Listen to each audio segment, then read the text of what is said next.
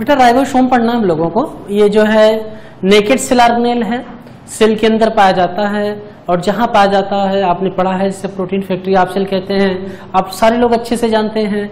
जैसे आपके घर में जो है खाना कौन बनाता है? मम्मी बनाती हैं। बनाती है ना खाना मम्मी? यम्मी यम्मी खाना बनाती हैं। ऐसे ही सेल में राइबोसोम कौन बनाता है? प्रोटीन कौन बनाता है? ये सेल ऑर्गेनेल है, राइबोसोम। तो अगर आप आइए डिस्कवरी देखी जाए, इससे शुरू किया जाए इसकी कहानी। देखा जाए कि क्या है इसकी कहानी। ये देखिए, सबसे पहले डिस्कवरी देखते हैं राइबोसोम की। अगर आप इसकी डिस्कवरी देखें तो सीधे सीधे लिखिए ना। देर क्यों करते हैं? सीधे लिखते हैं। ये देख बेटा डिस्कवर्ड बाई वैज्ञानिक का नाम लिखिए। जैसा कि एनसीईआरटी ने दिया हुआ है साइंटिस्ट का नाम जॉर्ज पैलाडे है। जॉर्ज पैलाडे है, इन्होंने इससे खोजा था। इन किस ईयर में? 1953 भारत देश को आज़ाद होने के बाद मतलब स्वतंत्र होने के बाद 1950 में संविधान लागू होने के बाद, तीन साल बाद राइबोसोम की खोज हुई।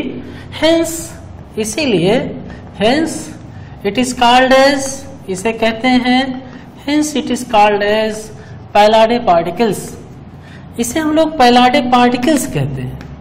ये देखिए hence called as Palade particles तो राइबोसोम की जो खोज है इसे चार्ज पैलाडे ने किया। आप ये समझें। Discovered by George Palade 1953 hence it is called as Palade particles उन्नीस सौ तिरपन में जॉर्ज पैलाडे ने इसकी डिस्कवरी की, इसलिए इसको हम लोग पैलाडे पार्टिकल्स कहते हैं। अगर आपको इसको दूसरा कमेंट लिखना है तो तुरंत आप लिखें कि, सर, देखिए, इसके बारे में ये सबसे इंपॉर्टेंट बात है कि ये नेकेड सेल ऑर्गेनेल है। नेकेड सेल ऑर्गेनेल मतलब ये हुआ कि एक ऐसा सेल ऑर्गेनेल है जिसके ऊपर कोई मेम्ब्रेन नहीं है। जैसे आपने पढ़ा है कि सेल में तीन तरह के सेल ऑर्गेनेल हैं।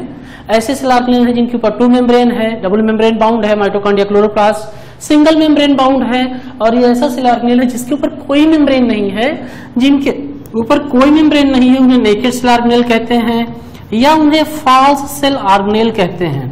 अगर आपसे कोई पूछे फॉल्स सेल ऑर्गेनेल किसे कहते हैं तो आपको बताना है, सर, ये वो ऑर्गेनेल हैं जिनके ऊपर कोई मेम्ब्रेन नहीं अगर आपको मैं ऐसे पॉइंट याद कराऊं कि कौन कौन से सेल ऑर्गेनेल हैं जो नेकेड हैं, ये पॉइंट वाली बात है।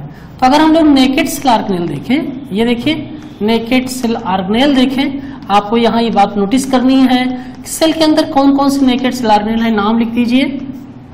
सबसे पहले है राइबोसोम ये नेकेट सेल ऑर्गेनेल है। दूसरा नाम लिख दीजिए सेंट्रियोल है।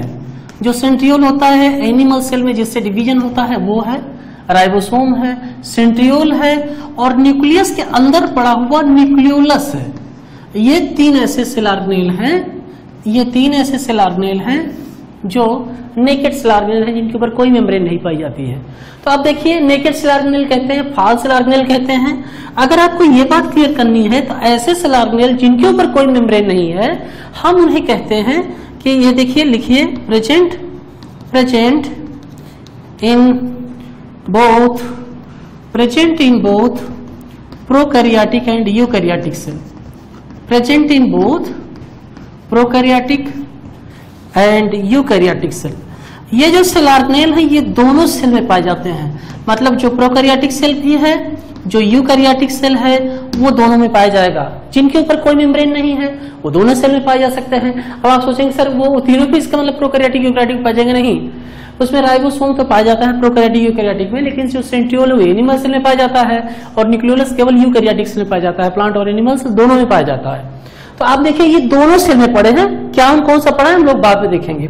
और इसके बारे में सबसे खास बात है कि ये स्मॉलेस्ट सेल ऑर्गेनेल है। स्मॉलेस्ट सेल ऑर्गेनेल है। स्मॉलेस्ट सेल ऑर्गेनेल है। ये देखिए स्मॉलेस्ट सेल ऑर्गेनेल है and highest in number and highest in number cell के अंदर इसकी संख्या ज़्यादा है। आपको ध्यान रखना है, इस सेल ऑर्गेनेल की साइज़ छोटी है मतलब छोटी साइज़ का है, लेकिन सेल में इसकी संख्या सबसे ज़्यादा है। तो आपको ये बात भी रखनी है दिमाग में अपने, ताकि आपसे कोई गलती ना हो। और भी देख लीजिए, जो प्रोटीन सिंथिसाइजिंग सेल्स हैं, जो प्रोटीन बनाने वाली सेल्स हैं प्रोटीन सिंथिसाइजिंग सेल्स हैं प्रोटीन सिंथिसाइजिंग सेल्स हैं, उनमें राइबोसोम्स एवेंडेंटली पाए जाते हैं। जिन सेल्स में प्रोटीन पाई जाती है, बनाई जा, जो सेल्स ज़्यादा से ज़्यादा प्रोटीन के प्रोडक्ट बनाती हैं, उसमें राइबोसोम्स एवेंडेंटली पाए जाते हैं। इसका आपको ध्यान रखना है। इंपॉर्टेंट है प्रोटीन सिंथेसाइजिंग सेल्स में राइबोसोम की संख्या ज़्यादा होगी। भाई कॉमन सेल्स की बात है, जब राइबोसोम की संख्या ज़्यादा होगी, तभी तो प्रोटीन ज़्यादा बनेगी। ये तो सिंपल सी बात है। अब आप एक बात देखिए। मैंने कहा कि प्रोकैरियोटिक और यूकैरियोटिक सेल दोनों ही पाई जाती हैं। अगर आपसे कोई पूछे किस सेल में राइबोसोम नहीं पाए जाते हैं तो आपको यह ध्यान रखना है कि mature RBC mature RBC of human mature RBC of human do not have any ribosome do not have any ribosome do not have any ribosome मैंने 32 बार बताया है 40 बार बताऊँगा 100 बार बताऊँगा, तब तक बताऊँगा जब तक कि आपके कॉन्सेप्ट ना जाए। जो राइबोसोम है, वो जो छोड़िए, सारी बात सुनिए, आप ध्यान सुनिए। जब मेच्योर जब हमारी आरबीसी बनती रहती है ह्यूमन आरबीसी बनती रहती है, मनुष्य में, हमारे ब्लड बोन में बनती रहती है तो आरबीसी के अंदर न्यूक्लियस होता है, सारे सिलाग्नेस होते हैं, वो एरोबिक रिस्पिरेशन करती है। लेकिन डेवलपमेंट स्टेजेस में, जब उसका डेवलपमेंट होता रहता है, मान लीजिए इस बात को ऐसे सीख लें, अगर तो अच्छा हो जाएगा। ये मान लीजिए आरबीसी है डेवलपिंग आरबीसी है। तो जब ये डेवलपिंग आरबीसी है तो इसमें सारे सेल पाए जाते हैं। डेवलपिंग आरबीसी तो इसमें सारे सेल पाए जाते हैं। ये इसका साइटोप्लाज्म है। ये एरोबिक रिस्पिरेशन कर रहा है, सब कुछ सही चल रहा है। ठीक है? अब हो क्या रहा है कि इसके डेवलपमेंटल स्टेज में एक स्टेज आती है, जिस स्टेज को हम लोग रेटिकुलोसाइट स्टेज कहते हैं। ये आरबीसी के डेवलपमेंट के दौरान एक स्टेज आती है और इस स्टेज के बाद इस आरबीसी में कोई भी सेल नहीं रह जाते हैं। इसमें केवल और केवल हीमोग्लोबिन पैक हो जाता है।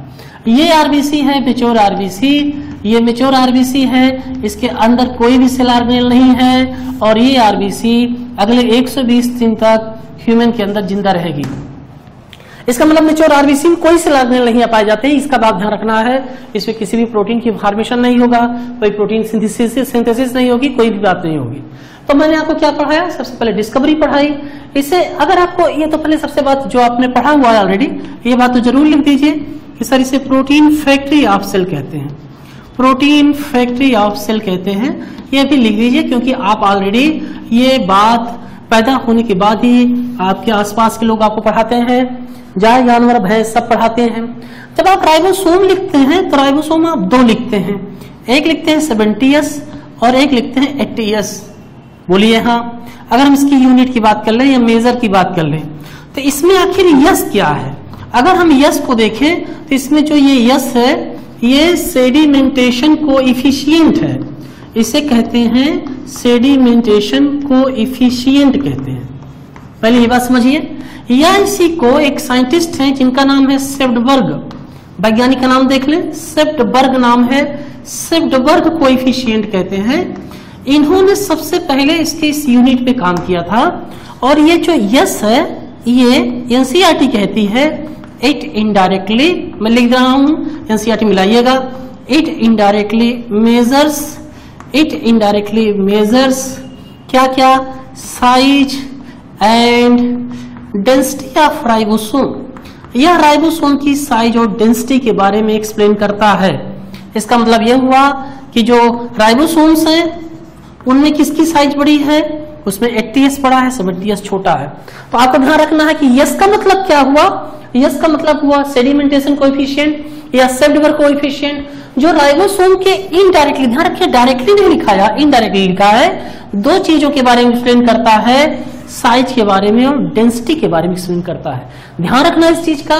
यस का मतलब हुआ सेडिमेंटेशन कोएफिशिएंट जो राइबोसोम के साइज़ और डेंसिटी को इनडायरेक्टली एक्सप्लेन करता है, इसका ध्यान रखना है। आपको आइए राइबोसोम के ओरिजिन के बारे में देखते हैं कि राइबोसोम की ओरिजिन कहाँ होती है। अभी आपने देखा, मैंने आपको बताया कि दो तरह के राइबोसोम हैं। एक राइबोसोम है जिन्हें सेवेंटीएस राइबोसोम कहते हैं। ये देखिए, और दूसरा राइबोसोम है जिसे एट्टीएस राइबोसोम कहते हैं। सेवेंटी एस राइबोसोम और एट्टी एस राइबोसोम है। अगर आप इनकी ओरिजिन की बात करें, अगर आप इनकी ओरिजिन की बात करें तो इसकी ओरिजिन है फ्रॉम साइटोप्लाज्मा ऑफ़ सेल। मतलब जहाँ पर भी रहेगा, इसका फॉर्मेशन उस सेल का साइटोप्लाज्म करेगी। फ्रॉम साइटोप्लाज्मा ऑफ़ सेल और इसकी जो होती है ओरिजिन वो न्यूक्लियोलस से होती है। न्यूक्लियोलस ऑफ़ सेल मतलब आपको मैं बताऊँ न्यूक्लियोलस ऑफ़ सेल इसी न्यूक्लियोलस को हम लोग न्यूक्लियोलस को हम लोग राइबोसोम की फैक्ट्री कहते हैं। राइबोसोम की फैक्ट्री कहते हैं। ये देखिए। राइबोसोम को तो प्रोटीन की फैक्ट्री कहते हैं, लेकिन न्यूक्लियोलस को राइबोसोम की फैक्ट्री कहते हैं। आपको यह बात दिमाग में सेट कर लेनी है कि सेवेंटीएस राइबोसोम जो होता है साइटोप्लाज्म से उसकी ओरिजिन होती है, एट्टीएस राइबोसोम की ओरिजिन न्यूक्लियोलस ऑफ़ सेल से होती है। न्यूक्लियोलस कहाँ पे है? न्यूक्लियस के अंदर है, वहाँ से इसका फॉर्मेशन होता है। तो ये इसकी ओरिजिन है। अगर हम इसके टाइप की बात करें तो टाइप इसके जनरली दो हैं। अगर आप इसकी टाइप बात करते हैं तो एक राइबोसोम है जिसे हम लोग सेवेंटीएस राइबोसोम कहते हैं। ये पहला इसका टाइप है। अब इस सेवेंटीएस राइबोसोम, ये पहला टाइप है। अगर आप सेवेंटीएस राइबोसोम की लोकेशन देख लें कि सेल के अंदर कहाँ पर पड़ा है तो आप अच्छा इस सेवेंटीएस राइबोसोम को हम लोग प्रोकैरियाटिक राइबोसोम भी कहते हैं। पहली बात तो आप ये जान लें, प्रोकैरियाटिक राइबोसोम कहते हैं। इसी सेवेंटीएस राइबोसोम को हम लोग प्रोकैरियाटिक राइबोसोम कहते हैं। इसी का एक नाम और है, माइटोराइबोसोम है। मान लो कोई आपसे पूछता है कि इसका नाम क्या है? माइटोराइबोसोम है। ये देखिए, पहले आप इसके नाम देख लीजिए। बाई द अगर कोई पूछता है तो इसे हम लोग माइटोराइबोसोम कहते हैं। अब ये सेवेंटीएस राइबोसोम है कहाँ पे? अगर आपको ये बात बनानी है तो आप ऐसे एक सेल बना दीजिए। ऐसे सेल बनाइए। यहाँ पे लिखिए कि सर, ये जो सेल है, इस सेल का नाम प्रोकैरियोटिक सेल है। प्रोकैरियोटिक सेल मतलब ये हुआ कि इस सेल में न्यूक्लियस नहीं है। आप यहाँ पर एक ऐसी न्यूक्लियस बनाइए। इस न्यूक्लियस का नाम लिखिए कि इसे इंसिपियंट न्यूक्लियस कहते हैं। कौन सा न्यूक्लियस कहते हैं? आप बोलिए कि इसे इंसिपियंट न्यूक्लियस कहते हैं। लिख दिया आपने। इसके अंदर ये डीएनए पड़ा हुआ है। ये देखिए, ये इसके अंदर डीएनए पड़ा हुआ है। और ये देखिए, इसमें ये पड़ा हुआ है प्लाज्मिड ये पड़ा हुआ प्लाज्मिड अब ये सेल की स्ट्रक्चर पढ़ा रहा हूँ। अभी मैंने राइबोसोम नहीं पढ़ाया आपको। अब मैं क्या करता हूँ कि इस पिंक चाक से राइबोसोम की लोकेशन दिखाता हूँ। अगर आप इस बाहर वाली मेम्ब्रेन को प्लाज्मा मेम्ब्रेन मान रहे हैं तो इसी प्लाज्मा मेम्ब्रेन से अटैच है हमारा सेवेंटीएस राइबोसोम। ऐसे आप इसको दिखा दीजिए। कि सर देखिए, पहली प्रोकैरियोटिक सेल में राइबोसोम की ओरिजिन ये लोकेशन ये है कि ये जो है प्लाज्मा मेम्ब्रेन से अटैच है। और दूसरा ये राइबोसोम इस साइटोप्लाज्म से फ्री टहल रहा है। अगर आप इन दोनों राइबोसोम को लिखें, ऐसे हेडिंग लिख लीजिए लिखिए सेवेंटीएस राइबोसोम तो अगर मैं आपसे कहूँ कि ये राइबोसोम, जो ये सेवेंटीएस राइबोसोम है, ये प्रोकैरियोटिक सेल में पाया जाता है। तो आप कहेंगे अच्छा सर प्रोकैरियोटिक सेल में पाया जाता है? हम कहें हाँ भाई प्रोकैरियोटिक सेल में कहाँ कहाँ पाया जाता है सर, ये भी बताइए। तो हमने कहा कि सर, ये दो जगह पे है। तो पहली जगह कौन सी है? अगर मैं आपसे पूछूँ, पहली जगह है कि फ्री इन साइटोप्लाज्म एक तो ये साइटोप्लाज्म में फ्रीली पाया जा रहा है। फ्री इन साइटोप्लाज्म ये पहली लोकेशन है। और दूसरा, अगर आपको इसकी लोकेशन लिखना है तो आप लिखेंगे, sir attached with plasma membrane attached with plasma membrane ये दो जगह पाया जा रहा है। किस सेल में? आप ध्यान रखें, ये प्रोकैरियोटिक सेल में इसकी दो लोकेशन है। इसीलिए शायद इसको प्रोकैरियोटिक राइबोसोम कहते हैं। अब ये प्रोकैरियोटिक सेल की लोकेशन हो गई। अगर आप राइबोसोम की लोकेशन यूकैरियोटिक सेल में देखना चाहते हैं। मान लीजिए आप चाहते हैं कि नहीं, सर, मुझे यूकैरियोटिक राइबोसोम को भी देखना है। तो आप ऐसे यूकैरियोटिक राइबोसोम लिखेंगे, ऐसे कि, सर, ये यूकैरियोटिक राइबोसोम पहले आप लिख लीजिए। अगर यूकैरियोटिक राइबोसोम को मैं बताऊँ, चाहे आप इसे यूकैरियोटिक राइबोसोम कहते हैं या चाहे इसे आप साइटो राइबोसोम कहते हैं साइटो राइबोसोम इसलिए कहते हैं क्योंकि ये साइटोप्लाज्म में पाया जाता है। ये कौन सा राइबोसोम है भाई? पहले इसका नाम लिखिए, सर, ये एट्टीएस राइबोसोम है। यस मैंने बता दिया सेडिमेंटेशन कोएफिशिएंट होता है। सिंपल सा। जैसे आप किसी को एक सुंदर सी निगाह से देखते हैं, गाय के छोटे से बछड़े को आप प्यार की निगाह से देखते हैं, मोहब्बत की निगाह से देखते हैं, उसी मोहब्बत की निगाह से इस सेल को देखिए। मज़ा आएगा आपको। अगर आपको इस सेल को देखना है, आप पहले सेल का नाम लिखिए। लिखिए, ये यूकैरियोटिक सेल है। अगर ये यूकैरियोटिक सेल है, ये देखिए तो आप फटाफट काम करना शुरू करिए। सबसे पहले इसमें तो न्यूक्लियस बना दीजिए। बनाइए न्यूक्लियस। बनाना तो पड़ेगा ही न्यूक्लियस। बिना बनाए कल्याण नहीं है मेरे दोस्त। न्यूक्लियस से फिर आप एक काम करिए, ऐसे बनाइए, ऐसे। और आप इसका नाम लिखना शुरू करिए कि अरे सर, आप तो इंडोप्लाज्मिक रेटिकुलम बनाने का सोच रहे हैं। जी हाँ हम बिल्कुल सोच रहे हैं। अब आपने क्या किया? ये भी बना रहे हैं जवाब। यहाँ पर बस थोड़ा सा बनाइए। अब इसमें और भी सारे काम हम लोगों को करना है ना? सेल तो छोटी सी बेचारी है। ये देखिए, आप यहाँ पर ऐसे माइटोकांड्रिया बना दीजिए। लिख दीजिए कि सर, ये माइटोकॉन्ड्रिया है। पूरी बात लिखनी है बिना संकोच के। इंफॉर्मेशन आपने पढ़ा है कि खराब इंफॉर्मेशन या इनकम्प्लीट इंफॉर्मेशन बड़ी खतरनाक होती है। आप इसका पूरा ध्यान रखना है। एक जब आपने माइटोकांडिया बना दिया तो आप इसके सगे भाई को बनाना मत भूलिए, क्योंकि अगर आपने ये भूल दिया तो जग सूना सूना हो जाएगा। आप यहाँ पर लिखिए सर, ये क्लोरोप्लास्ट है। ये देखिए वो माइटोकांड्रिया है और ये क्या है? क्लोरोप्लास्ट है। ये दो सिलाग्नेल्स हो गए। अब आप बनाना शुरू करिए राइबोसोम। अब अगर आप ध्यान से देखें तो यहाँ पर मैंने सेवेंटी राइबोसोम पिंक चार्ट से लिखा है। तो सबसे पहले मैं आपको ये क्लियर कर दूँ कि ये जो सेवेंटी राइबोसोम है, ये माइटोकांड्रिया क्लोरोप्लास्ट के अंदर भी पाया जाता है। Seventy S ribosome mitochondria chloroplast के अंदर भी पाया जाता है तो अगर आप यहाँ लिख रहे हैं तो आप यहाँ पर लिखिए, यहाँ पर इंफॉर्मेशन लिखें कि यूकैरियोटिक सेल में भी ये राइबोसोम पाया जाता है। कौन सा? Seventy S ribosome eukaryotic cell में भी ये राइबोसोम पाया जाता है। कहाँ पर पाया जाता है? ये पाया जाता है माइटोकॉन्ड्रिया के अंदर। पहला माइटोकॉन्ड्रिया के अंदर पाया जाता है। और दूसरा, क्लोरोप्लास्ट के अंदर पाया जाता है। क्लोरोप्लास्ट के अंदर पाया जाता है। आपको ध्यान रखना है कि ये सेवेंटीएस राइबोसोम, ये सेवेंटीएस राइबोसोम दो तरह की सेल्स पे पाया जाता है। प्रोकैरियोटिक सेल के साइटोप्लाज्म में फ्रीली पड़ा हुआ है और उसके प्लाज्मा मेम्ब्रेन से अटैच है। जबकि यूकैरियोटिक सेल के माइटोकांड्रिया क्लोरोप्लास्ट में पाया जाता है। इसीलिए इस सेवेंटीएस राइबोसोम को, इस सेवेंटीएस राइबोसोम को आर्गनेल विद इन आर्गनेल कहते हैं। आपको ये बात आज सीख ली ही लेनी है। आर्गनेल विद इन आर्गनेल कहते हैं। मैं आपको जो कहना चाह रहा हूँ, आप पहले इस बात को समझ लें, सीख लें। बिना सीखे कल्याण नहीं आपका। आप क्लास इलेवेंथ में हैं, बिना सीखे कल्याण नहीं। मैं ये कहना चाहता हूँ कि आप उस सेल को ध्यान से देखिए। उस सेल में ये माइटोकांड्रिया क्लोरोप्लास्ट दो सेल ऑर्गेनेल्स हैं। और इन सेल ऑर्गेनेल्स के अंदर भी सेवेंटी राइबोसोम है। तो पहली बात तो ये हो गई जो सेवेंटी राइबोसोम है, वो प्रोकैरियोटिक, यूकैरियोटिक सेल दोनों में कॉमन है। और दूसरी खास बात यह हो गई कि यूकैरियोटिक सेल के माइटोकांड्रिया क्लोरोप्लास्ट में सेवेंटी राइबोसोम पाया जाता है। फिर से मैं क्या कह रहा हूँ? ध्यान सुनिए। मेरी निगाह को और मेरी आत्मा से जो आवाज़ आपके पास पहुँच रही है, उसको ध्यान सुनिए। आत्मा लगाइए, इसमें मन लगाने की ज़रूरत नहीं है। जब आप ध्यान से देख रहे हैं कि mitochondria, chloroplast already cell organelle है और उसके अंदर भी जो है राइबोसोम पाया जा रहा है। कौन सा पाया जा रहा है? एटीएस वाला।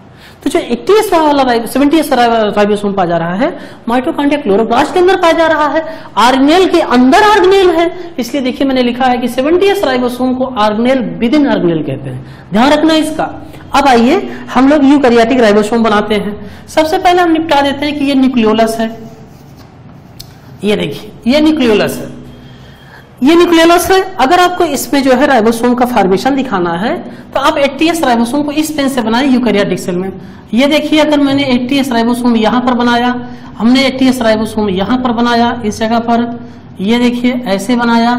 यहाँ पर हमने राइबोसोम एटीएस बनाया, ऐसी जगहों पर बनाया, और कुछ राइबोसोम हमने साइटोप्लाज्म में डाल दिए।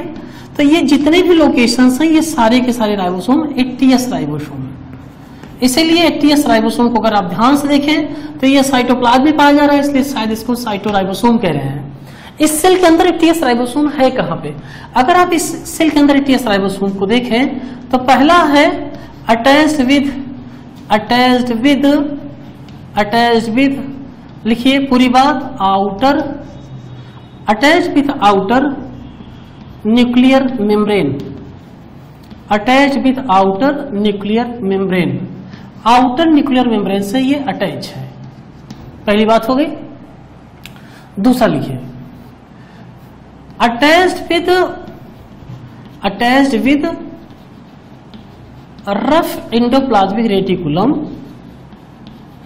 attach with rough endoplasmic reticulum ये रफ इंडोप्लाज्मिक रेटिकुलम है। ये इसकी है, ये इसकी है। बाई कौन सी प्रोटीन है? पूरा नाम लिखिए। इस प्रोटीन का नाम राइबोफोरिन है। मतलब एक राइबोफोरिन प्रोटीन है जो इसको रफ इंडोप्लाज्मिक रेटिकुलम से जोड़ रही दो लोकेशन हो गई। आउटर न्यूक्लियर मेम्ब्रेन में पड़ा है रफ इंडोप्लाज्मिक रेटिकुलम में पड़ा हुआ है और तीसरा है जो फ्री इन साइटोप्लाज्म है। मतलब मैं आपको ये सिखाना चाहता हूँ कि ये जो राइबोसोम है एटीएस वाला राइबोसोम ये तीन जगह पर पड़ा हुआ है। कहाँ कहाँ पर पड़ा हुआ है? लोकेशन देख लीजिए। आउटर न्यूक्लियर मेम्ब्रेन भी पड़ा हुआ है रफ इंडोप्लाज्मिक रेटिकुलम की सरफेस पे पड़ा हुआ है और साइटोप्लाज्म में फ्री टहल रहा हुआ है। अगर मैं आपको एक बात और सिखाऊं, यहीं पर थोड़ी सी आप बात सीखने का प्रयास करें कि जो 80s है, ये दो में टूटता है। 40s प्लस 60s ये स्मॉल सब यूनिट है, ये लार्ज सब यूनिट है। डिटेल अभी पढ़ाता हूँ मैं आपको। तो ये जो आप रफ इंडोप्लाज्मिक रेटिकुलम के सरफेस पे देख रहे हैं, जनरली 60s यहाँ जुड़ा रहता है। तो फिफ्टी फिफ्टी फोर्टी वाला क्या करता रहता है? फोर्टी वाला अलग टहलता रहता है। तो वो किस टाइम जुड़ता है? जिस समय यहाँ से यहाँ डीएनए से आरएनए बन के आएगा ट्रांसक्रिप्शन होगा, उस समय राइबोसोम की दोनों यूनिट जुड़ जाएँगी मैग्नीशियम आयन के कंसंट्रेशन बढ़ने पर। तो जनरली अगर आपसे पूछे कि सेल में प्रोटीन सिंथेसिस नहीं हो रही है रफ इंडोप्लाज्मिक रेटिकुलम के सरफेस पे कौन सा राइबोसोम जुड़ा है? 80 जुड़ा है 40 जुड़ा है 60 जुड़ा है तो आपको टिक क्या करना है? 60 जुड़ा है। या ऐसे क्वेश्चन में लिख देता हूँ कि अगर आपसे क्वेश्चन ऐसे पूछे कि जनरली जनरली ऐसे क्वेश्चन देख लें आप generally which which ribosome generally which ribosome is attached with generally which ribosome is attached with ऐसे लिख लीजिए attached with rough endoplasmic reticulum आपको ऑप्शन क्या देगा? अगर आप ऑप्शन देगा फोर्टी एस जुड़ी है सिक्सटी एस जुड़ी है थर्टी एस जुड़ी है सेवेंटी एस जुड़ी है, आप टिक कहा करेंगे? काट के करेंगे सिक्सटी एस जुड़ी है। तो फोर्टी एस कब जुड़ेगी? जब सेल के अंदर प्रोटीन बननी होगी, तब फोर्टी एस इस पे जुड़ जाएगी राइबोसोम की पूरी यूनिट कंप्लीट हो जाएगी। तो ये है प्रोकैरियोटिक सेल का राइबोसोम, जिसे हम लोग प्रो सेवेंटी एस राइबोसोम कहते हैं। वो यूकैरियोटिक सेल का राइबोसोम है, जिसे एटीएस कहते हैं। ध्यान रखना है कि seventy S ribosome prokaryotic cell के साइटोप्लाज्म में पाया जाता है और यूकैरियोटिक सेल के माइटोकॉन्ड्रिया क्लोरोप्लास्ट के अंदर पाया जाता है। हाँ तो अब आप देखिए बेटा, इसका स्ट्रक्चर देखिए राइबोसोम का। राइबोसोम के स्ट्रक्चर अगर आप देखेंगे तो किसी भी राइबोसोम में, अगर कोई भी राइबोसोम है तो उसमें दो सब यूनिट होती है। सिंपल सी बात है कि किसी भी राइबोसोम में दो सब यूनिट होती है। कोई भी राइबोसोम है। तो एक उसकी जो सब यूनिट होती है उसको लार्ज सब यूनिट कहते हैं। पहली बात तो आप ये समझें। कॉमन सेंस की बात है जो यूनिट बड़ी होती होगी उसको लार्ज सब यूनिट कहते होंगे। कॉमन सेंस की बात है। और जो बड़ी बात हो, छोटी वाली होती होगी उसको क्या कहेंगे? बहुत कॉमन छोटा भाई भाई स्मॉल सब यूनिट है? मतलब कोई भी राइबोसोम में दो सब यूनिट है आपको मैं सिंपली बता रहा हूँ। तो अगर मैं सिंपली बता रहा हूँ तो आप ये देखिए कि अगर आप ये देखिए कि ये राइबोसोम है, जैसे मान लीजिए आपने कहा सर सेवेंटी एस राइबोसोम है तो अगर सेवेंटी है तो इसकी जो लार्ज सब यूनिट है वो फिफ्टी एस है, और जो छोटी सब यूनिट है वो थर्टी एस है। ऐसे एट्टी एस टाइप राइबोसोम जो होता है, उसकी जो बड़ी सब यूनिट है उसे सिक्सटी एस कहते हैं, छोटी जो यूनिट छोटी वाली जो सब यूनिट है उसे फोर्टी एस कहते हैं। अगर आप इसी का फिगर आप फिगर दिखाना चाहते हैं तो ऐसे दिखा दीजिए कि यहाँ लिख दीजिए एक सर ये लार्ज सब यूनिट है हमने ये भी लिख दिया, भाई, चलो भाई, तुम कहते हो तो मैं लिख ही देता हूँ तो बच्चे हो तुम। ये देखो, ये क्या है? स्मॉल सब यूनिट है। बोलो हाँ। बोलो, क्या? हाँ। स्मॉल सब यूनिट है, ये लार्ज सब यूनिट है। अगर स्मॉल सब यूनिट की तरफ़ आपने यहाँ थर्टी एस लिखा, यहाँ पर आपने फिफ्टी एस लिखा तो आपने इसको घेर क्या क्या लिखा? सेवेंटी एस लिखा। अगर आपने यहाँ पर फोर्टी एस लिखा और यहाँ पर आपने सिक्सटी एस लिखा इधर घेर के आप क्या लिखेंगे? एट्टी एस लिखेंगे। कितनी सिंपल सी बात है, सोचो। इतना सिंपल तो रोटी नहीं होती जो आप चबा चबा के खाते हैं। पिज्जा नहीं होता यार। पिज्जा। ये देखो। तो ये थर्टी एस फिफ्टी एस मिला के सेवेंटी एस बनाती है फोर्टी एस सिक्सटी एस मिला के क्या बनाती है? एट्टी एस का फॉर्मेशन करती है। अगर आपको और भी सीखना है, अगर आपको और भी सीखना है तो ये आप सीखिए कि जो ह्यूमन होता है, या आप यहाँ देखिए, अगर आप ऐसे देखिए कि स्मॉल जो सब यूनिट होती है जो स्मॉल सब यूनिट है, पहले आप बेसिक बात देख लें डिटेल बात सिखाऊँगा। स्मॉल सब यूनिट में तीन चीज़ होती है। अगर आप स्मॉल सब यूनिट बनाना चाहते हैं तो ये स्मॉल सब यूनिट है। इसका ये जो एरिया होता है, इसे हेड कहते हैं। इसका जो ये एरिया होता है, इसे बेस कहते हैं। और इसका जो बीच का एरिया होता है, इसे क्लेफ्ट कहते हैं। ये देखिए। मतलब स्मॉल सब यूनिट ऐसे दिखाई पड़ती है, जैसे आप सिर्फ़ टोपी लग के लगा के मेरा नाम जोकर, मेरा नाम जोकर ऐसे करते नहीं है। तो छोटी सब यूनिट है जिसे हेड बेस क्लेफ्ट कहते हैं। अगर आप इसके लार्ज सब यूनिट को बनाने का सोच रहे हैं, वैसे तो आपको सोचना ही पड़ेगा। ये क्योंकि आप पायो में आ गए आप डॉक्टर बनना चाहते हैं। तो अगर आप इसके लार्ज सब यूनिट को बना के रखकर सोच रहे हैं बाइक भी अगर आप सोच रहे हैं तो ऐसे बना दीजिए। ये ये ऐसे बना दीजिए। यहाँ पर लिखिए कि जो उभरा हुआ पार्ट है इस पार्ट को प्रोटोवेरेंस कहते हैं। लिख दीजिए कि इस पार्ट का नाम क्या है? प्रोटोवेरेंस है। ये जो इसका पार्ट है, इसे हम लोग रिज कहते हैं। आर आई डी जी ई और ये जो नीचे का पार्ट है, इसे स्टॉक कहते हैं। मेरे प्यारे बच्चे, तुम अगर इससे प्यार की निगाह से देखोगे, इस राइबोसोम को जैसे आप छोटे से गाय के बच्चे को देखते हैं, कुत्ते के पिल्ले को देखते हैं, छोटा सा जो बेबी होता है तो आप देखिए इसका ये उभरा हुआ पार्ट है, जैसे हमारा सिर निकला है। तो अगर ये, मान लीजिए ये तीन फीट का है और ये दो फीट का है तो टोटल हाइट कितनी आनी चाहिए? पाँच फीट लेकिन पाँच फीट आएगी नहीं। जैसे आप सिर में टोपी डालते हैं तो टोटल हाइट कितनी आएगी? आपकी मान लीजिए हाइट साढ़े पाँच फीट की, टोपी डेढ़ फीट की है तो हाइट आनी चाहिए सात फीट लेकिन सात फीट नहीं आएगा, वो पौने सात फीट ही आएगा। तो और कहा गया? आपकी जो टोपी है, वो सिर के अंदर घुस जाएगी। तो जब ये घुसेगी तो सिर उसमें घुसेगा, टोपी उधर घुसेगी तो वो इस पे वो एरिया तो कम होगा ना। इसी तरह से 50 30 जोड़ की जो 80 आना चाहिए मैथमेटिक्स के हिसाब से, वो 70 आता है। क्योंकि जो इसका क्लेप्ट है, इसके प्रोटोवेरेंस में घुस जाता है। मतलब सेम लाइक दिस अगर आप ऐसे देखें, ये इसका प्रोटोवेरेंस है, ये ऐसा, ये लार्ज सब यूनिट है, और इसके स्मॉल सब यूनिट में ऐसे आके देखिए, ऐसे ये घुस जाता है। इस तरह से ये कंप्लीट राइबोसोम बन जाता है। तो अगर इसकी दोनों यूनिट जब जुड़ जाती है तो 50 के अंदर 30 घुस जाता है। जब दोनों घुस जाते हैं तो ये जो 50 30 जोड़ के 70 आना चाहिए 60 40 जोड़ के 100 आना चाहिए, वो नहीं आता है, बल्कि आ जाता है कितना? कितना आ जाता है ये? ये आ जाता है एट्टी आ जाता है। तो आपको इसका ध्यान रखना है दोनों यूनिट के कारण ऐसा होता है। एक बात मैं आपको बता दूँ स्पेशल बात है वेरी इंपॉर्टेंट है, पहले मैं लिख दूँ। बहुत ही इंपॉर्टेंट बात है, क्योंकि आपसे हो सकता है बात पूछे कि जो माइटोकॉन्ड्रिया ऑफ़ ह्यूमन है सिर्फ़ आपको एक छोटी सी बात बताता हूँ। ध्यान से सुनिए। माइटोकॉन्ड्रिया ऑफ़ ह्यूमन है। माइटोकॉन्ड्रिया ऑफ़ ह्यूमन है। इसके राइबोसोम में इसके इसके यहाँ 55 यस राइबोसोम पाया जाता है। कौन सा राइबोसोम पाया जाता है? 55 यस राइबोसोम पाया जाता है। ये ध्यान रखना है। और इस 55 यस राइबोसोम की छोटी सब यूनिट है 25 यस और बड़ी सब यूनिट है 35 यस इसका ख्याल रखना है आपको। ध्यान रखिएगा। मैं यहाँ से लिख देता हूँ, अगर आपको दिल लग रहा है तो ये ध्यान ध्यान सुनिए, चुपके से सुन। किसकी? चुपके से सुन। किसकी धुन? बायो की धुन। ये है बायोलॉजी। चुपके से सुन। बायोलॉजी की धुन। तो आप देखिए ये चुपके से सुनना है। कान में धीरे से घुस जाएगा आपके और आपकी बात समझ में आ जाएगी कि ह्यूमन के माइटोकॉन्ड्रिया में 55 फाइव ईयर्स राइबोसोम पूछे जा, पाए जाते हैं जिसमें 25 ईयर्स और 35 फाइव ईयर्स की दो सब यूनिट होती है। अगर हम इसके स्ट्रक्चर की बात करें अल्ट्रा स्ट्रक्चर की बात करें अल्ट्रा स्ट्रक्चर ऑफ़ राइबोसोम देखें अल्ट्रा स्ट्रक्चर ऑफ़ राइबोसोम देखें आपको ये बात सीखना है अल्ट्रा स्ट्रक्चर ऑफ़ राइबोसोम अगर आप देखें। डिटेल में राइबोसोम को देखना चाहते हैं आप, आपका मन है राइबोसोम को देखने का तो आइए देख लेते हैं कि अल्ट्रा स्ट्रक्चर क्या है इसका।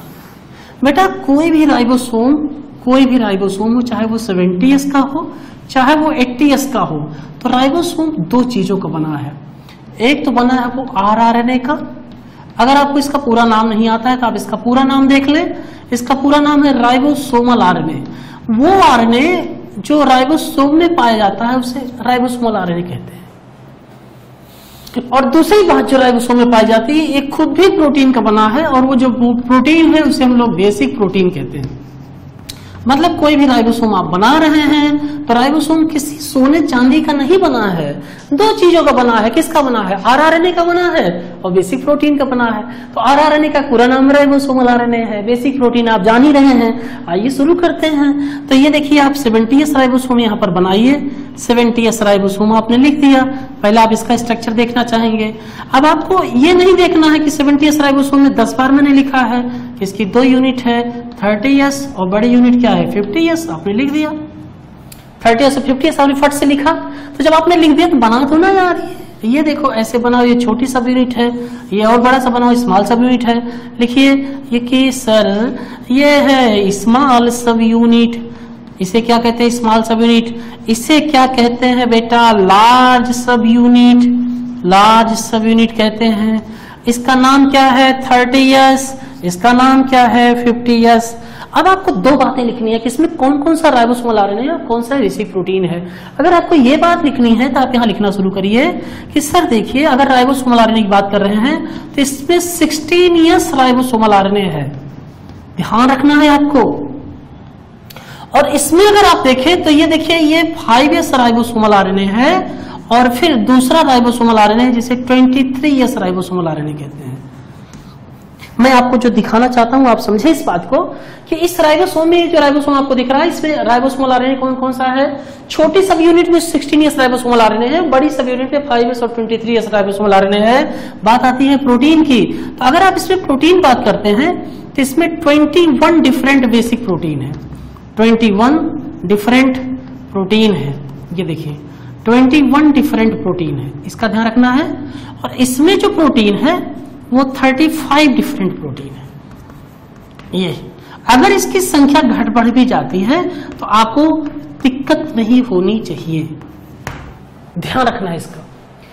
तो आपको ये बात ध्यान रखनी है कि ये जो 70 एस राइबोसोम इसकी दो सब यूनिट है 30 एस और 50 एस 30 एस राइबोसोम में 16 एस राइबोसोमल आरएनए है। राइबोसोमल आरएनए 16 एस है और स्मॉल सब यूनिट पे 5 एस और 23 एस है।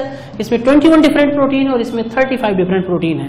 ध्यान रखिए, एक स्पेशल बात है जो मैं आपको अगली क्लास में सिखा रहा हूँ। ध्यान दें इसका। चलो भाई तो देखो एटीएस राइबोसोम अगर हम दूसरा वाला देखते हैं, ये देखिए, मैंने यहाँ लिखा कि ये एटीएस राइबोसोम है। अगर आप एटीएस राइबोसोम के बारे में देखें तो इस एटीएस राइबोसोम में दो सब यूनिट है। अगर आप एटीएस देखते हैं तो इसकी छोटी सब यूनिट को फोर्टी कहते हैं, बड़ी सब यूनिट को सिक्सटी कहते हैं। अगर आप इसी बात को ऐसे बना दें, लिख दें इसी पे, ऐसे बड़ा सा बना दें कि भाई ये देखिए, ये स्मॉल सब यूनिट है, इस राइबोसोम की एटीएस वाले की स्मॉल सब यूनिट है। इधर लिख दीजिए, सर, ये फोर्टी एस है। ये इसकी लिखिए कि, सर, ये लार्ज सब यूनिट है। यहाँ लिखिए ये इसकी लार्ज सब यूनिट है। लार्ज सब यूनिट है, इसका नाम लिखिए कि, सर, ये सिक्सटी एस राइबोसोम तो अगर आप सिक्सटी फोर्टी जोड़ते हैं तो फिर वही पुरानी बात आ गई एट्टी एस राइबोसोम आ जाएगा। तो अगर आप इसमें प्रोटीन देखना चाहते हैं तो इसमें देखिए यहाँ पर जो प्रोटीन है, जो आर आर वाली प्रोटीन है, ये आर आर वाली प्रोटीन है एटीन एस राइबोसोमल आर याद करना पड़ेगा, यहाँ पर जो प्रोटीन है, ये है ट्वेंटी एस राइबोसोमल आर ये पहला हो गया। दूसरा है 5.8 एस राइबोसोमल आरएनए ये इसका दूसरा आरएनए है। और तीसरा है 5 एस राइबोसोमल आरएनए अगर आप आपको ये याद करने में तकलीफ़ हो रही है कैसे याद करेंगे? ये पूरा जो राइबोसोम आपने बनाया, ये कौन सा बनाया? आप कहेंगे, सर एटीएस बनाए हुए हैं। तो एटीएस अगर आप बनाइए तो देखिए, इसके भी लास्ट में एट है, यहाँ भी एट है और यहाँ भी है। अठारह, अट्ठाईस फाइव पॉइंट एट में सब लास्ट में क्या है? एट ज़िंदगी में आप कभी नहीं भूलेंगे, गलती हो ही नहीं सकती है। अगर इसमें आप बेसिक प्रोटीन की बात करें चाहें तो इसमें 34 डिफरेंट बेसिक प्रोटीन है। 34 डिफरेंट बेसिक प्रोटीन है, याद होगी याद होगी, नहीं छोड़ दीजिएगा, परेशान मत होइएगा प्रोटीन की संख्या नहीं पूछी जाती है, और इसमें लिखिए कि इसमें 45 डिफरेंट बेसिक प्रोटीन है डिफरेंट बेसिक प्रोटीन है 45 डिफरेंट बेसिक प्रोटीन है, ये बात आपको ध्यान रखना है। ये बात ध्यान से आप सुनिए, यहाँ मैं वेरी इंपॉर्टेंट लिख रहा हूँ, शायद कोई बात ज़रूरी होगी, तभी मैं लिख रहा हूँ। एक टर्म होता है जिसे हम लोग राइबोजाइम कहते हैं। पहले टर्म का मतलब समझें, राइबोजाइम क्या है? अगर आप ध्यान से देखें तो राइबो माने राइबोसोम्स, और जाइम टर्म लगता है इंजाइम के बाद में। एंजाइम का फ़ंक्शन क्या है कि हमारी बॉडी में जो रिएक्शंस हो रही हैं, वो रिएक्शंस के रेट की तो बढ़ा रही है तो घटा रही हैं। तो राइबोचाइम मतलब वो ये हुआ कि when RNA act as catalyst when RNA act as catalyst अगर आरएनए कैटलिस्ट जैसा काम करने लगता है तो उसे हम लोग राइबोजाइम कहते हैं। ये एंजाइम तो है, क्योंकि कैटलिस्ट जैसा बिहेव कर रहा है लेकिन ये when R N act as a catalyst अगर एग्ज़ाम्पल पूछे तो ये देखिए 23 थ्री ईयर्स राइबोसोमल आर अगर मैं पूछूँ किस सेल में है तो आप कहेंगे, सर, ये बैक्टीरिया के केस में मतलब प्रोकैरियोटिक सेल में, इसे हम लोग राइबोजाइम कहते हैं। अगर आपसे कोई पूछे, प्रोटीनियस है नॉन प्रोटीनियस है? आप कहेंगे, क्या सर मज़ाक कर रहे हैं कि आप सुबह सुबह, दोपहर, शाम जब भी है? तो अब यार, प्रोटीनियस थोड़ी है तो आरएनए है ना यार? तो आरएनए प्रोटीन थोड़ी है? ये देखिए नॉन प्रोटीनियस है। आपको ये बात ध्यान रखनी है। अब आइए यहाँ पर। यहाँ पर देखिए।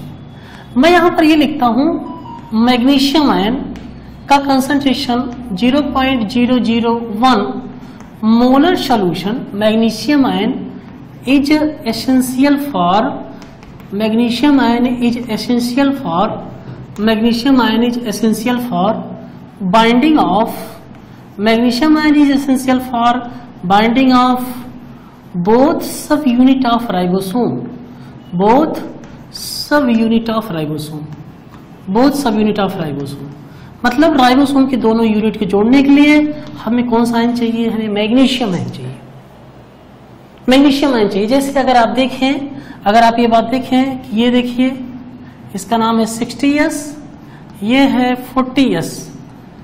अगर आपको इन दोनों को जोड़ना है, शेल के अंदर इन दोनों यूनिट को जोड़ना है तो सेल के अंदर मैग्नीशियम आयन का कंसंट्रेशन चाहिए 0.001 मोलर सोल्यूशन जब ऐसा होगा तो आपके शेल के अंदर 60 40 जोड़ के 80 एस राइबोसोम मिल जाएगा। इसी तरह से अगर आप देखें दूसरी कंडीशन अगर ये 50 एस राइबोसोम है और आपको इसको 30 एस राइबोसोम से जोड़ना है तो आपको सेल के अंदर कंसंट्रेशन चाहिए। कौन सा सेल के अंदर चाहिए? मैग्नीशियम आयन का कंसंट्रेशन 0.01 मोलर सोल्यूशन और उस केस में राइबोसोम आपको सेल के अंदर 70 एस दिखाई पड़ेगा।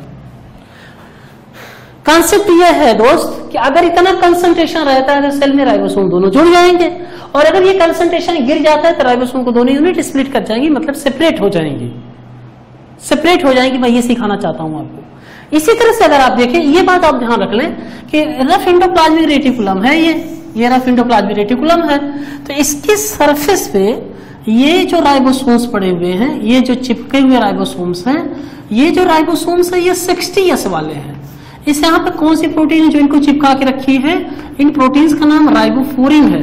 तो जनरल कंडीशन में जब प्रोटीन नहीं बन रही है तो इस रफ इंडोप्लाज्मिक रेटिकुलम की सरफेस पे 60 एस राइबोसोम जुड़े हुए तो 40 एस कब जुड़ेंगे। जब सेल में मैग्नीशियम का कंसंट्रेशन इतना हो जाएगा। ये कब हो जाएगा? जब सेल में न्यूक्लियस से, डीएनए से आरएनए बन के सेल के अंदर आएगा, तब ऐसा कंसंट्रेशन हो जाएगा।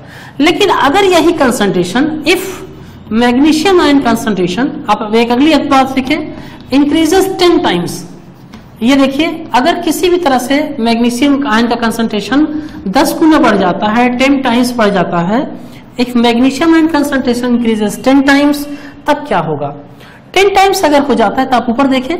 ये ये देखिए, ये कौन सा राइबोसोम है? 70 एस है।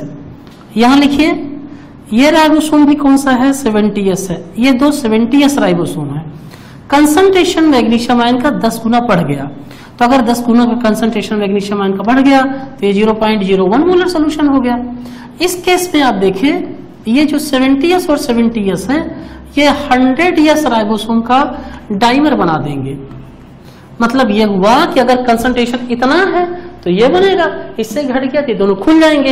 लेकिन अगर ये कंसंट्रेशन दस गुना बढ़ गया सेल के अंदर तो राइबोसोम की 70 70 एस मिलकर 100 एस का डाइमर बना लेंगे। ठीक इसी तरह से देख बेटा, ये 80 एस राइबोसोम है। इससे देखिए बेटा, ये 80 एस राइबोसोम है और ये दोनों राइबोसोम्स जुड़ के, ऐसे यहाँ देखिए ये मैग्नीशियम आयन का कंसंट्रेशन है, ये 0.01 मोलर सोल्यूशन है। ये देख बेटा, इस तरह से यहाँ पर 120 यस का डाइमर बनेगा। 120 यस का डाइमर बनेगा। तो अगर आप टोटल स्ट्रक्चर देखते हैं तो सबसे पहले आपको याद करना है कि इसमें आर आर पाया जाता है। बेसिक प्रोटीन पाई जाती है, दो सब यूनिट हो जाती हैं। राइबोजाइम कब कहते हैं जब आरएनए कैटलिस्ट जैसा काम करता है। और आपको मैंने ये जो कॉन्सेप्ट पढ़ाया कि इतना कंसंट्रेशन होगा तो एट्टी एस बनेगा, इतना कंसंट्रेशन होगा सेवेंटी बनेगा। लेकिन यदि अगर कंसंट्रेशन दस गुना बढ़ जाता है तो राइबोसोम्स के डाइवर बनना सेल में शुरू हो जाते हैं। फ़ंक्शन ऑफ़ राइबोसोम देखते हैं हम लोग। फ़ंक्शन ऑफ़ राइबोसोम में अगर आप देखें, जैसा आपने पहले पढ़ा हुआ है कि राइबोसोम को हम लोग प्रोटीन फैक्ट्री ऑफ़ सेल कहा जाता है। ये है राइबोसोम का फ़ंक्शन इसे हम लोग प्रोटीन फैक्ट्री ऑफ़ सेल कहते हैं। ये है, सबसे सिंपल सी बात है। ये आप सबको आता है। तो ये चलिए मैं लिख देता हूँ क्योंकि आपको आता है। दूसरा होता है कि राइबोसोम वाइटलोजेनेसिस करता है। थोड़ा सा हम लोग सब्जेक्ट के अंदर घुसेंगे, थोड़ा अच्छा लगेगा। खूबसूरत विषय है ये। तो वाइटलोजेनेसिस माने होता है फॉर्मेशन ऑफ़ योग योग क्या होता है, हम आपको सिखाते हैं। योग का फॉर्मेशन करता है मतलब योग जो होता है, उसके फॉर्मेशन में राइबोसोम इन्वॉल्व है अगर आप कभी अंडा ऐसे देखें, ये देखिए, ये हिंदी में लिख दे रहा हूँ कि ये मुर्गी का अंडा है। इस अंडे के अंदर, ये इसका, क्योंकि आपने पढ़ा है कि ये एक तरह की शेल है तो अगर आप इस अंडे के अंदर देखें तो किसी एक जगह पर आपको एक खास तरह के कलर का योग मिल जाता है। बेटा, ये योग जो है एक खास तरह की प्रोटीन है। अंडे को हम लोग इसीलिए खाते हैं, इसमें स्पेशल प्रोटीन पाई जाती है, जिससे व्यक्ति स्वस्थ रहता है। लेकिन वो वाला अंडा ही जो इंजेक्शन से आता है, हमें अंडे वो खाने चाहिए जो मुर्गी जनरेट करते हैं, जो मुर्गी से नेचुरली पैदा होते हैं, वो अंडे फ़ायदेमंद है। अब आपको एक कॉन्सेप्ट सीखना चाहिए, मेरे हिसाब से, आपको ये सीखना चाहिए कि सर पॉलीराइबोसोम क्या है? अगर आप ये सीख जाएँ कि पॉलीराइबोसोम क्या है चाहे पॉलीराइबोसोम कह दें और चाहे इसे पॉलीसोम कहें, बात एक ही हुई पॉलीराइबोसोम कह दें या पॉलीसोम कह दें, पूरी बात लिख दीजिए, क्योंकि जब आपने हेडिंग डाल दी है तो पूरी बात तो लिखनी चाहिए पॉलीराइबोसोम या पॉलीराइबोसोम किसे कहते हैं? पॉलीसोम तो देखिए वैन मैं पूरी इसकी डिफिनेशन लिख देता हूँ। When many ribosomes when many ribosomes when many ribosomes are attached with when many ribosomes are attach with पूरी बात कर लीजिए attach with single thread of single thread of single thread of m R मैं आपको बता दूँ कि ये बहुत इंपॉर्टेंट है, और दूसरी खास बातें हैं कि इसकी जो ज़िक्र है, इस आपके मेडिकल की टिकट में राइबोसोम लिखा गया है। मेडिकल के टिकट में राइबोसोम तीन जगह लिखा गया है। तो अगर आप देखें, पॉलीराइबोसोम प्रोकैरियोटिक सेल में देखें। तो अगर आप पॉलीराइबोसोम को प्रोकैरियोटिक सेल में देखते हैं तो प्रोकैरियोटिक प्रोकैरियोटिक सेल में अगर आप राइबोसोम को देखें, ये प्रोकैरियोटिक सेल है। इसमें राइबोसोम कैसे कब दिखता है? ये पॉलीसोम कब दिखता है? तो मैं आपको बता दूँ, प्रोकैरियोटिक सेल में पॉलीराइबोसोम परमानेंट होता है। पॉलीराइबोसोम परमानेंट होता है। मतलब चाहे प्रोटीन बन रही हो और या न बन रही हो, ये आपको हमेशा दिखाई पड़ेगा। पॉलीराइबोसोम परमानेंट होता है। परमानेंट होता है। अगर आप यूकैरियोटिक सेल देख रहे हैं, अगर आप यूकैरियोटिक सेल देख रहे हैं, यूकैरियोटिक सेल तो यूकैरियोटिक सेल में पॉलीराइबोसोम, जो पॉलीराइबोसोम है, polyribosome can be seen polyribosome can be seen during protein synthesis ये देखिए। ये आपको दिखाई पड़ेगा जिस समय प्रोटीन की सिंथेसिस हो रही है, तभी आपको दिखाई पड़ेगा। पहले ये बात हम लोग लिख लें, फिर एक्सप्लेनेशन करते हैं। अगर आप इन दोनों कॉन्सेप्ट को समझना चाहते हैं तो आप एक ऐसे सेल बना दीजिए। ये, यहाँ पहले सेल का नाम लिख लीजिए। कि सर ये प्रोकैरियोटिक सेल है। अगर आपने इसे प्रोकैरियोटिक सेल लिखा, आपने इसे प्रोकैरियोटिक सेल लिखा तो ये देखिए, इसका ये डीएनए है। डीएनए है तो आपने एक कॉन्सेप्ट यहाँ पर थोड़ा सा और सीखना पड़ेगा। पहले आप इस बात को सीख लें कि ये जब आप सीख लेंगे तो आपको बात पूरी तरह समझ में आएगी कि जब डीएनए है तो डीएनए से अगर डीएनए बनता है तो इसे रिप्लीकेशन कहते हैं। मतलब अगर इस सेल में डीएनए से डीएनए बनेगा तो इसे रिप्लीकेशन कहेंगे। अगर इस टीएनए से आरएनए का फॉर्मेशन होता है, आरएनए का फॉर्मेशन होता है तो इसे ट्रांसक्रिप्शन कहते हैं। तो इसे हम लोग ट्रांसक्रिप्शन कहते हैं। और इस आरएनए से जब प्रोटीन का फॉर्मेशन होता है प्रोटीन का फॉर्मेशन होता है तब हम इसे ट्रांसलेशन कहते हैं। ये देखिए। अब आप देखिए डीएनए से डीएनए बनेगा रेप्लीकेशन डीएनए से बनेगा ट्रांसक्रिप्शन और प्रोटीन बनेगी ट्रांसलेशन ये जो तीनों प्रक्रिया हैं डीएनए से डीएनए बनना ये भी इसी के साइटोप्लाज्म होगा क्योंकि न्यूक्लियस तो है नहीं डीएनए से आरएनए बनेगा तो ये भी साइटोप्लाज्म होगा ये आरएनए जो होता है ये ऐसे आएगा सेल में इस आरएनए की polarity five prime to three prime है इस राइबोसोम में नीचे छोटी यूनिट पड़ी राइबोसोम की ऊपर बड़ी यूनिट फिर छोटी यूनिट फिर बड़ी यूनिट ऐसे अरेंज हो जाती है मतलब अगर आपको पॉली राइबोसोम बनाना है तो आप ऐसे यहाँ पर बनाएँगे सर देखिए, ये यम आरने है। यम आरने की पोलरिटी हमेशा five prime to three prime होती है। ये यम आरने जब डीएनए से बन के आता है तो राइबोसोम की छोटी यूनिट नीचे, बड़ी यूनिट ऊपर, फिर छोटी यूनिट ऊपर नीचे, बड़ी यूनिट ऊपर, छोटी यूनिट नीचे, बड़ी यूनिट ऊपर, इस तरह से छोटी, बड़ी और छोटी, बड़ी एक स्ट्रक्चर बनता है और इसी स्ट्रक्चर को हम लोग पॉली राइबोसोम कहते हैं। पॉली राइबोसोम कहते हैं। ये देखिए। तो आपको प्रोकैरियोटिक सेल में ये स्ट्रक्चर हमेशा दिखाई पड़ेगा, चाहे प्रोटीन बननी हो और चाहे न बननी हो। लेकिन लेकिन अगर आप यूकैरियोटिक सेल में देखें, अगर आपने यूकैरियोटिक सेल ऐसे अपना दी, ये यूकैरियोटिक सेल का न्यूक्लियस है, ये देखिए, ये यूकैरियोटिक सेल का न्यूक्लियस है, ये न्यूक्लियर मेम्ब्रेन है, यहाँ पर इसका डीएनए पड़ा हुआ है, ये देखिए। तो डीएनए से डीएनए से डीएनए से आरएनए जो बनता है ट्रांसक्रिप्शन या डीएनए से डीएनए रेप्लिकेशन ये न्यूक्लियस में होता है यूकैरियोटिक सेल के। और इससे बनके जब आरएनए साइटोप्लाज्म में आएगा आरएनए साइटोप्लाज्म में आएगा, जिसकी polarity 5 prime to three prime है, इस आरएनए का नाम यम है तो इस पे भी राइबोसोम की छोटी यूनिट, बड़ी यूनिट, छोटी यूनिट, बड़ी यूनिट, छोटी यूनिट और बड़ी यूनिट बन जाएँगी। ये तब तक बनी रहेंगी जब तक इस सेल में प्रोटीन बनेगी। और जैसे ही प्रोटीन सेल में प्रोटीन बन जाएगी तो ये सब के सब अपने आप डाइजेस्ट हो जाएँगे। मतलब पॉलीराइबोसोम इसमें तब बनेगा जब प्रोटीन बन रही हो, मैंने ये लिखा है। और प्रोकैरियोटिक सेल में पॉलीराइबोसोम का फॉर्मेशन परमानेंट होता है। इस तरह से राइबोसोम सेल के अंदर प्रोटीन का फॉर्मेशन करता है। तो अब आप बेटा देखें माइटोकांड्रिया के बारे में देखें। माइटोकांड्रिया जो है, अगर इसकी लिटरल मीनिंग देखी जाए तो इसकी लिटरल मीनिंग है माइटोस टर्म से ओरिजिन हुई है, जिसको हम लोग थ्रेड कहते हैं। ये देखिए। और कॉन्ड्रियान माने होता है बॉडी कॉन्ड्रियान माने होता है बॉडी ये देखिए।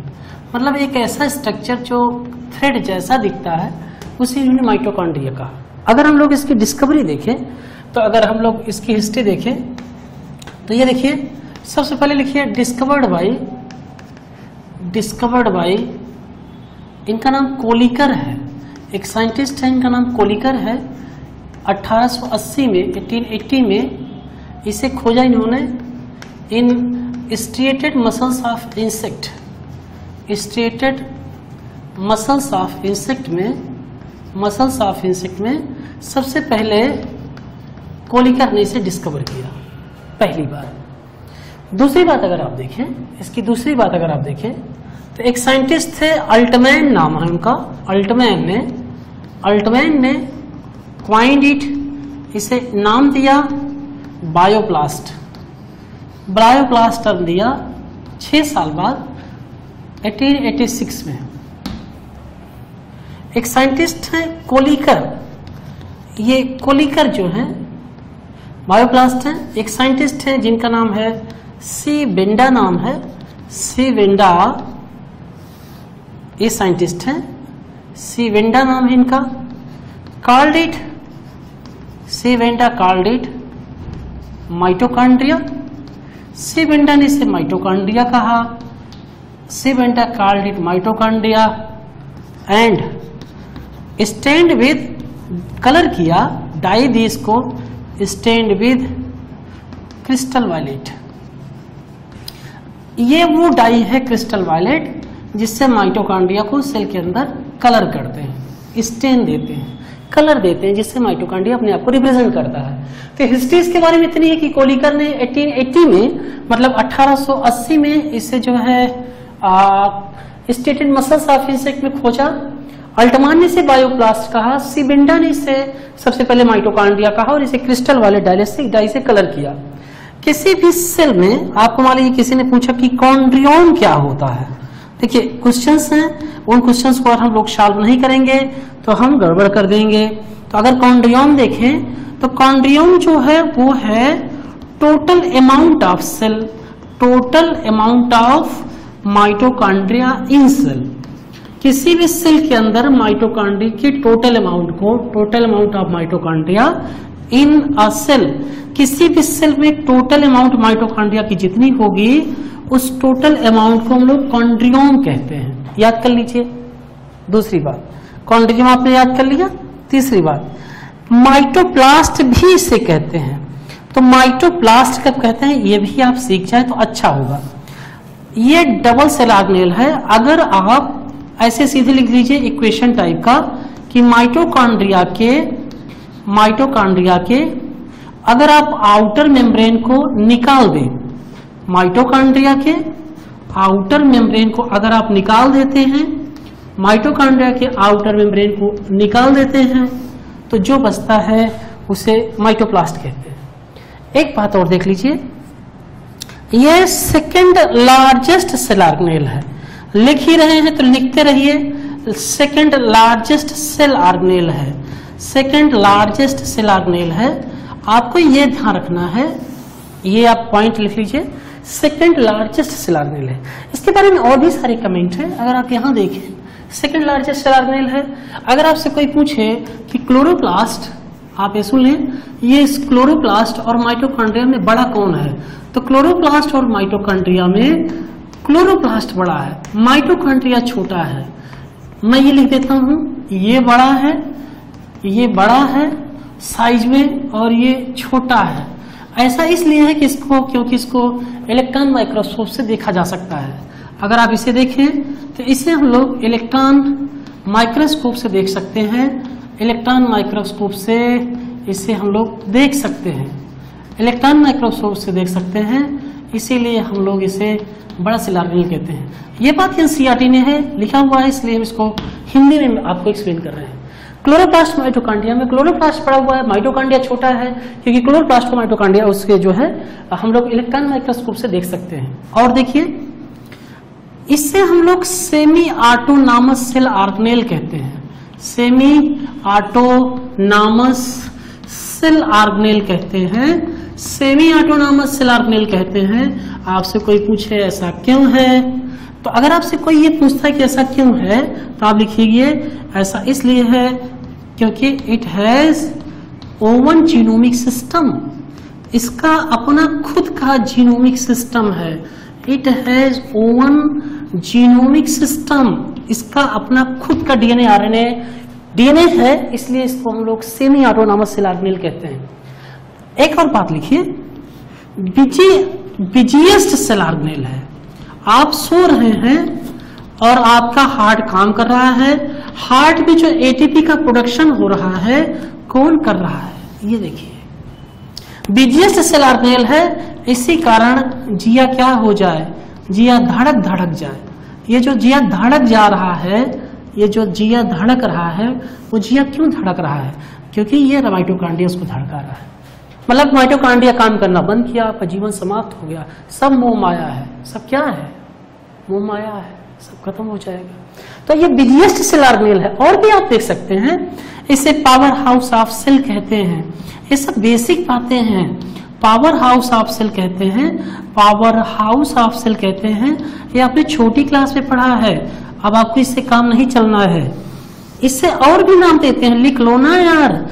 एटीपी ऑफ़ एटीपी मील कहते हैं, या इसे सेलुलर फर्नेस कहते हैं सेलुलर फर्नेस कहते हैं। ये देखिए, खूब सारे नाम हैं, जितना मन कहे आप लिख लें सेलुलर फर्नेस कहते हैं।